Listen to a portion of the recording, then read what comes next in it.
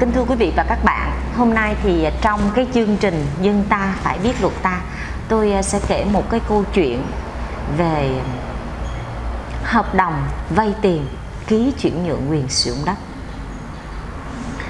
Tại sao tôi phải lặp đi lặp lại, lặp đi lặp lại rất nhiều lần về việc à, vay tiền ký hợp đồng chuyển nhượng quyền sử dụng đất? Vì đây là một cái tình trạng rất là phổ thông à, thú thật với quý vị và các bạn có những cái um, vị khách hàng họ đến văn phòng tôi họ bảo rằng là luật sư ơi em không ngủ được. Luật sư ơi tôi không ngủ được. Luật sư ơi bây giờ phải làm như thế nào? Tôi mới cười tôi bảo rằng là nếu trong những trường hợp khác nếu trong những trường hợp khác thì tôi à, có thể đây là một cái dạng mới. À, ví dụ như bây giờ khiếu nại một cái quyết định của trọng tài kinh tế hay là cái ờ, khiếu nại về cái giám đốc thẩm thì đó là một cái dạng rất là mới của luật sư.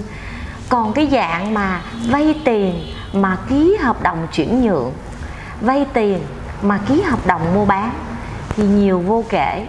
À, tôi còn có nói với đùa với họ rằng nếu như trong trường hợp mà luật sư hôm nay luật sư đưa ra ý kiến yên tâm thì cứ hãy yên tâm.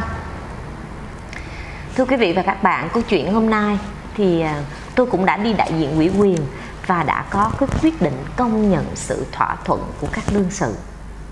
À, câu chuyện của tôi à, nó là như thế này. Đây là một cái câu chuyện có thật mà văn phòng của tôi nhận được. Ông A ông cho bà B vay tiền. Thì à, vì khó khăn mà cho nên à, bà B vay thì bà V, hai bên có thỏa thuận cái lãi suất là 4% một tháng. Thì thời hạn hai bên cho vay chỉ là 3 tháng mà thôi. Thì tới cái thời hạn, vì thực tế quý vị và các bạn biết không? Hai bên cho vay nhưng không có lập một cái hợp đồng vay và đến phòng công chứng ký hợp đồng chuyển nhượng quyền sử dụng đất. Một cái hợp đồng chuyển nhượng quyền sử dụng đất diện tích rất lớn quý vị, là tới 400 mét mà vay số tiền nhỏ thôi. Sẽ vay số tiền rất nhỏ. Thì à, khi mà cái bà B đi vay đó thì thỏa thuận thời hạn là 3 tháng. Cái ngày thì thôi bây giờ uh, có tiền bà B bà bảo với ông A rằng bây giờ hôm nay tôi lên tôi trả tiền anh tôi trả lãi suất anh anh chuyển nhượng lại. Cái giấy tờ cho tôi nha. Thì ông A bảo ừ, ừ ok thôi giờ cứ đi lên phòng công chứng đi. Một cái điều không may mắn xảy ra. Các bạn ạ à, cuộc đời nó có những cái khúc quanh mà cũng không biết như thế nào. Trong cái quá trình mà vận chuyển từ nhà đến phòng công chứng thì bà B bị giật túi sách ông hai ông bảo rằng tôi không quan tâm cái chuyện tôi đã đến phòng công chứng tôi đợi chị mà chị nói nhiều khi là sự thật là không biết như thế nào và tôi tin cái bà B là sự thật. Vì à, tại à, văn phòng tôi cũng gần phòng công chứng và tôi có biết cái sự việc đó. Tôi biết có một người đem tiền và um, đi trên đường bị giật. Và bẵng đi một cái thời gian rất là lâu thì ông A đã tiến hành cái thủ tục sang tên đăng bộ.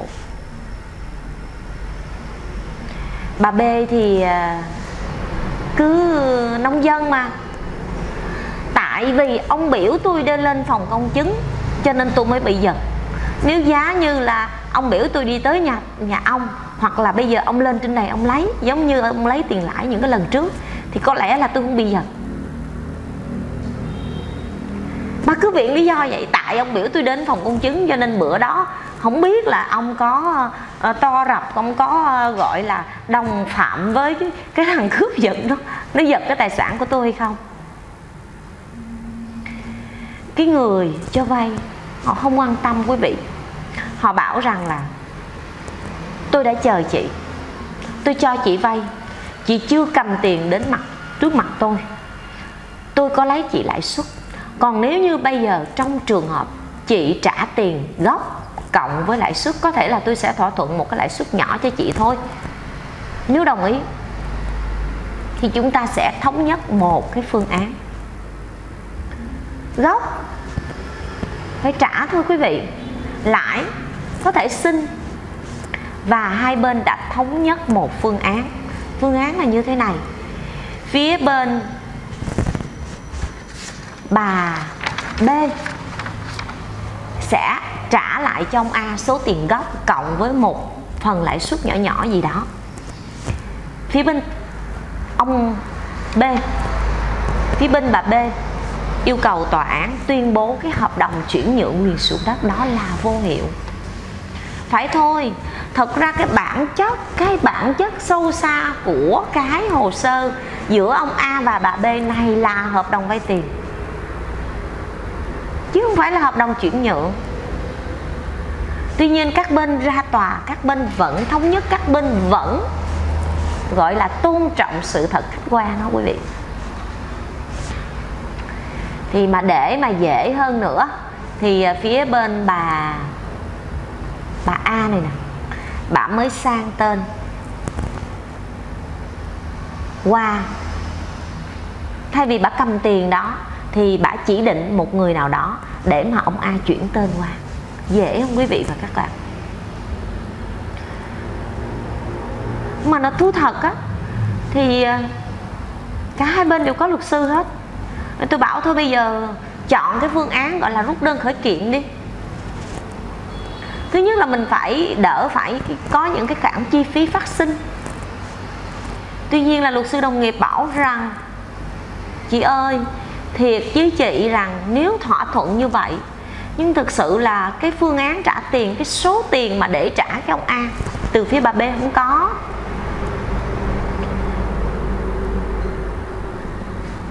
Bà B bà sẽ dự định bán cái phần đất này. Mà cái người mà gọi là đặt cọc á, người ta nói có bản án người ta hay có quyết định gì người ta mới làm, người ta mới mua. Và từ đó dẫn đến trong cái quyết định công nhận sự thỏa thuận của các đương sự, trong đó ghi nhận cái nguyên đơn khởi kiện, bị đơn khởi kiện, cái nội dung vụ việc và cuối cùng kết thúc lại những vấn đề bên phía bà B phải có nghĩa vụ trả lại cho ông A số tiền gốc cộng với lãi. Hai bên thống nhất là hủy hợp đồng chuyển nhượng quyền xuống đất. Cái thời điểm giao nhận tiền là thời điểm các bên có, bên bên phía ông A có đơn yêu cầu đến tiền án. Thưa quý vị và các bạn, hôm nay thông qua cái video về việc hợp đồng ủy quyền ký chuyển nhượng để tôi lặp lại thêm một lần nữa. Không phải là à, luật sư già cả luật sư lẩm cẩm luật sư lại phải cứ nói nhưng tôi vẫn cứ nói. Vì cái kiến thức pháp luật về cái lĩnh vực này và những cái dịch vụ họ đã cố gắng họ đã à, gọi là không thể nào mà bảo vệ cái người nông dân và tôi tôi nói với quý vị và các bạn, thậm chí những người khi mà người ta đặt bút ghi, ký, mặc dù là vay tiền á, người ta ký cái vay, ký hợp đồng chuyển nhượng, họ cũng đồng ý. Vì họ nằm trong tình trạng gọi là tiến không được, lùi không xong mình cần cái số tiền để giải quyết một số công việc cá nhân. Cho nên trong cái chương trình dân ta phải biết luật ta, tôi mong muốn quý vị và các bạn, nếu trong trường hợp quý vị và các bạn hiểu được, thì mình sẽ vận dụng trong thực tiễn. Còn nếu như trong trường hợp mình không hiểu được, thì biết làm sao để tự mình bảo vệ mình, bảo vệ người thân, bảo vệ những người bạn bè của mình. Thưa quý vị và các bạn, cơn sốt đất quê tôi. Mà không phải là cơn sốt đất ở quê tôi mà cơn sốt đất nó đã đi qua. Trả lại cái sự bình bình yên. Tuy nhiên cái hậu quả của cơn sốt đất nó vẫn còn dai dẳng. Như một lần à, trong một cái video tôi có nói là cảm ơn cơn sốt đất tuy nhiên cũng có cái hệ lụy từ cơn sốt đất những cái quan hệ xã hội cha mẹ vợ chồng con cái những cái đặt cọc phạt cọc chuyển nhượng lời thất hứa uy tín danh dự khó quá. À, thưa quý vị và các bạn chắc quý vị và các bạn nói luật sư chỉ cứ lẩm cẩm nói lặp đi lặp lại nhiều lần. Thì hôm nay là thông qua cái video này tôi cũng muốn chuyển tải đến quý vị và các bạn. Nếu trong trường hợp quý vị và các bạn là những người à, nhận chuyển nhượng quyền sử dụng đất thật sự thì quý vị và các bạn hãy à, trực tiếp yêu cầu đến văn phòng luật sư nào đó để cho người ta làm cái thủ tục gọi là hoàn thức hóa hợp hóa cái à, việc thủ tục sang tên đăng bộ.